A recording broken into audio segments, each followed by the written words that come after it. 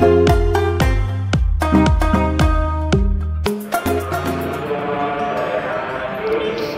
sobat semua, jumpa lagi di Aprilia 78 channel. Di video kali ini kita akan mengenal lebih jauh kereta api Argo Parayangan yang merupakan kereta api jarak jauh dengan frekuensi perjalanan terbanyak di Indonesia. Mau lebih jelas mengenal kereta api Argo Parayangan relasi Bandung-Jakarta? Mari kita simak videonya. Bantu saya membangun channel ini biar semakin berkembang dengan cara like, comment, share, dan subscribe channel ini biar saya semakin semangat membuat konten-konten tentang dunia KRL dan komuter lain di Indonesia. Kereta api Argo Parayangan adalah kereta api jarak jauh yang mempunyai frekuensi perjalanan terbanyak di Indonesia.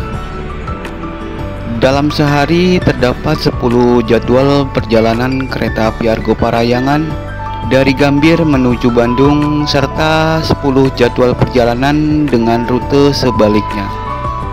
Banyaknya frekuensi perjalanan kereta api Argo Parayangan itu sebagai bentuk peningkatan layanan kepada pelanggan kereta yang mempunyai peminat cukup tinggi.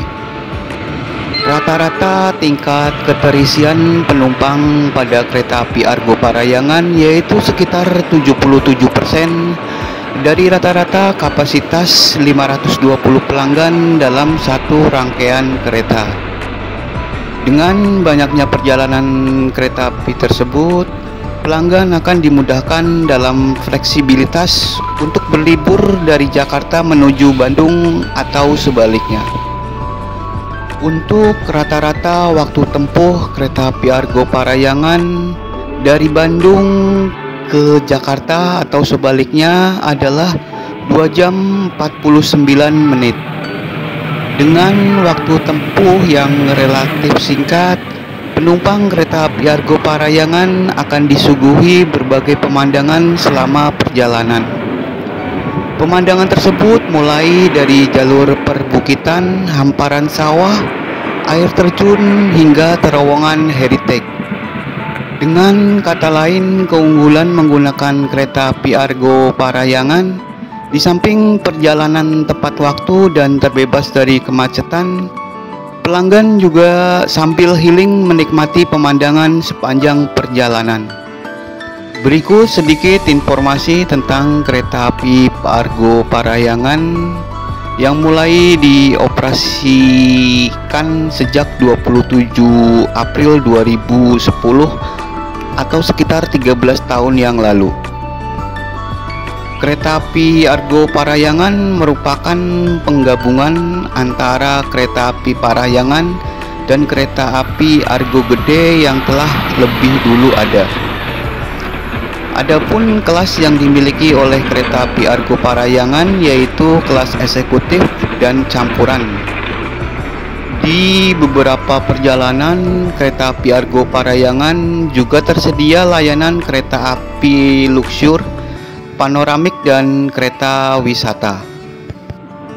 Kereta api Argo Parayangan memiliki jadwal yang melayani pelanggan sepanjang hari sejak pagi sampai malam. Berikut adalah jadwal perjalanan kereta api Argo Parayangan keberangkatan dari stasiun Gambir. Yang pertama dengan nomor KA 38 berangkat dari stasiun Gambir jam 6 lewat 30 menit dan tiba di Bandung pada jam 19 lewat 15 menit. Selanjutnya ada nomor KA 52 berangkat dari stasiun Gambir jam 7 lewat 25 menit tiba di Bandung jam 10 lewat 11 menit. Yang ketiga ada nomor KA 34 berangkat dari stasiun Gambir jam 8 lewat 5 menit dan tiba di Bandung jam 10 lewat 52 menit. Yang keempat dengan nomor KA 44 berangkat dari stasiun Gambir jam 9 lewat 30 menit tiba di Bandung jam 12 lewat 26 menit. Serta nomor KA 48 berangkat dari stasiun Gambir jam 12 lewat 30 menit sampai di Bandung jam 15 lewat 25 menit. Berikutnya nomor KA 50 berangkat dari stasiun Gambir jam 13 lewat 10 menit dan tiba di Bandung jam 16 lewat 12 menit. Di nomor KA 40 berangkat dari stasiun Gambir jam 15 lewat 10 menit dan tiba di Bandung jam 17 lewat 50 menit. Selanjutnya nomor KA36 berangkat dari stasiun Gambir jam 18 lewat 30 menit dan tiba di Bandung jam 21 lewat 24 menit. Nomor 9 ada nomor KA46 berangkat dari stasiun Gambir jam 19 lewat 45 menit dan tiba di Bandung jam 22 lewat 30 menit.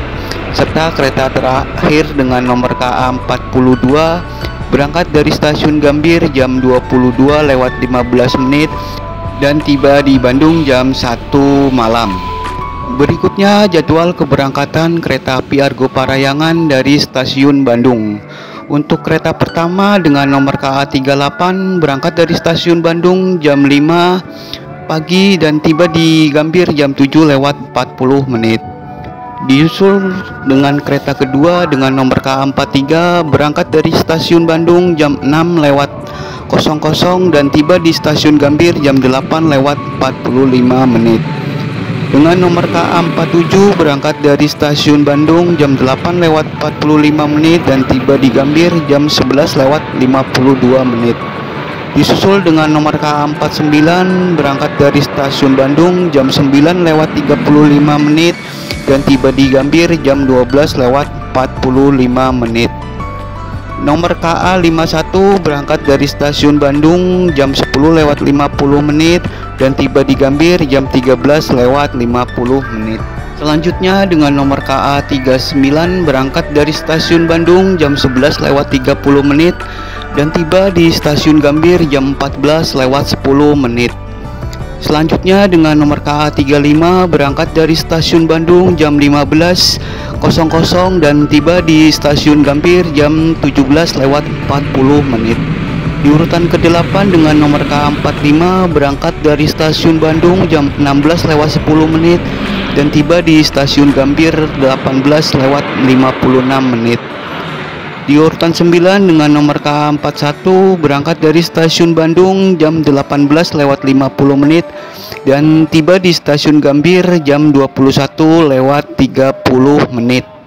Sedangkan untuk kereta terakhir dengan nomor K37 berangkat dari stasiun Bandung jam 22 lewat 00 dan tiba di stasiun Gambir jam 00 lewat 49 menit.